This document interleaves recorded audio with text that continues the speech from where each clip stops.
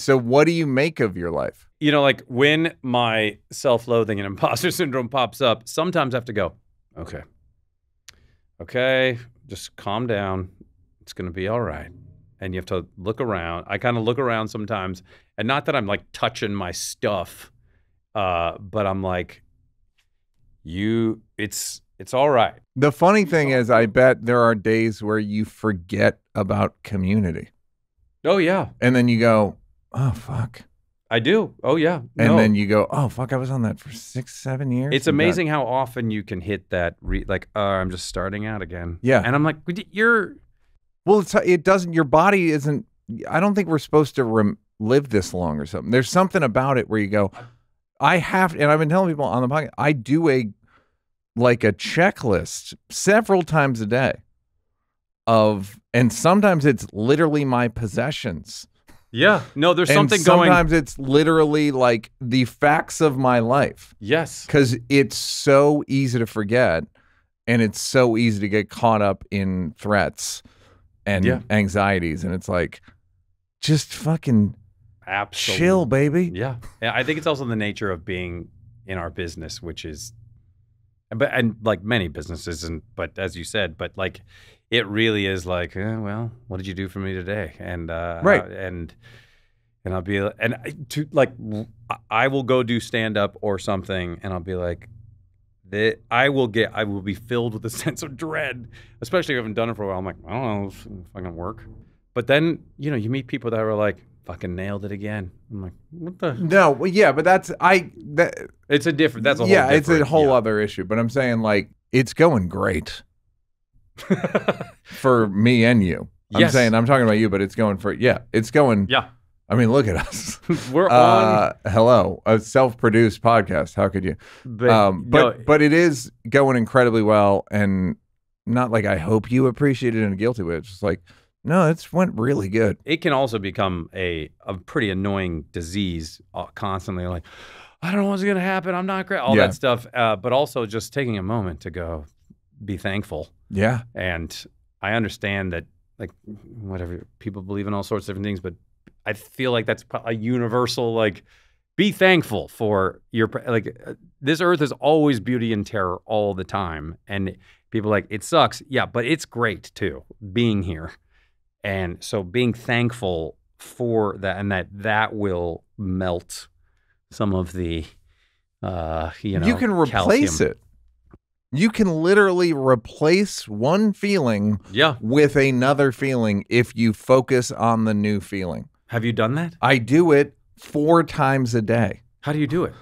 I have a like spiral notebook and I just write the date and then number one and then I go this, this, this, this, this, this, this. Oh, I should do that. And then I did it at I only did it once yesterday, which is the worst day I've had in three months in terms of gratitude.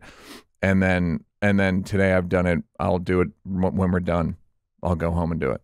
And if I can't, if I don't have the notebook, I'll just do it on a piece of paper in my car because you can replace your feelings with a different mm-hmm. feeling. Yeah. It's like acting. It literally is like acting Yeah. where you just go, "Oh no, I'm."